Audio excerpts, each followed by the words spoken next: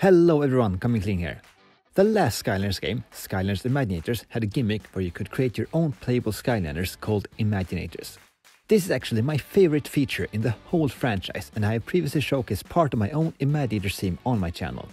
In this video I will remake some pre-created characters I got on creation crystals I bought and make my own swashbuckler, ninja, brawler and bazooker. And yes, they will have their dramatic presentations. Let's get started. Of course, my goal was to have all elements and battle classes represented in my Imaginator theme, but I have no means of resetting my figures, so I'm kind of stuck with what I have. Luckily enough, I did manage to at least scrape together all battle classes, and I have in previous videos introduced my Imaginator theme so far consisting of Arowina, the Fire Bowslinger, Sir Raptorfang, the Magic Knight, Lady Smashinella, the Undead Smasher, Wade Wolfmouse, the Tech Gunslinger, Tenny Tide, the Water Sentinel, and finally Feather Godmother, the Magic Sorceress. I am missing four battle classes, but I do have them all available to me on these used creation crystals, so let's go right ahead and start with this light crystal with a pre-created ninja. First of all, who makes a ninja of the light element? The pop culture version of a ninja is a sneaky assassin and that might be hard to accomplish with a self-illuminating aura and shiny white and gold armor. And a halo. And what's the deal with this backpack? Of course, you can make your Imaginator look however you want, so all these are easy fixes to create a more stereotypical ninja, but all the light elemental powers are also, well, light based, so I have no choice but to steer into the skid. Lurking in the shadows. That he creates himself with his perpetual self illumination comes the sneaky assassin everyone can see coming Shiny Shinobi. He will not be the last thing you see because your eyes will be busy adjusting to the sparkling effects of its not so surprising attacks. As you frantically blink away the last sunspots from your eyes, Shiny Shinobi will have already disappeared into the darkness, light, disappeared into the light. And moving on, we have a crystal of the air element with a pre-created swashbuckler on it.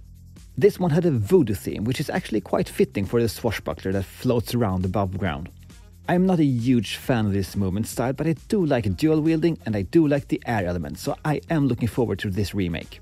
Let's go for something evil this time. From the depths of the abyss, where sharp looks and blades are equally important, emerges Demona.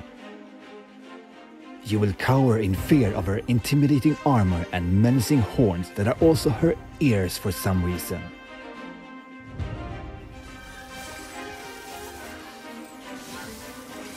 Whether you are cut to pieces by her twin blades of destruction or fall victim to a demonic bird bomb run, you will learn to fear Demona. Next up we have this dark crystal that had a bazooker on it. As far as pre-created characters by random stranger goes, I kind of like this one. It's some kind of reptilian knight with a somewhat subtle color scheme. I will however try to go for a more minimalistic traditional look inspired by Lin Fei, a bazooker from the fighting game Brawlhalla. Let's see how it goes. She may be tiny. She may be cute but you'll regret underestimating Miss Ayla. Her rockets will hit you wherever you are, but you will be wherever she pleases, dictated by the black holes she can create that will suck you into her bombastic mayhem.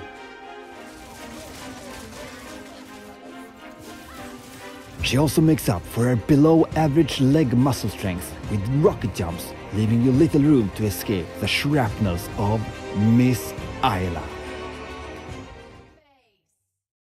And finally, we have a completely reset Earth Creation Crystal that was a gift to me from my viewers Michael and Evelyn. Very generous of them, of course, and this one will be the last battle class that I'm missing from my Imaginator team, a Brawler. Let's see what we can make of this one. He's the king of the forest. He's the king of the ring. He is Bucky Ramboa. A tree dwelling boxer whose authoritative presence can command the ground itself to punch you in the groin, supposedly. He's got the eye of a tiger, the horns of a deer, and the face of the best thing available in the lack of faces of hoofed animals. Getting smacked in the face by the prancing, pummeling pugilist Bucky Ramboa is the last thing you want.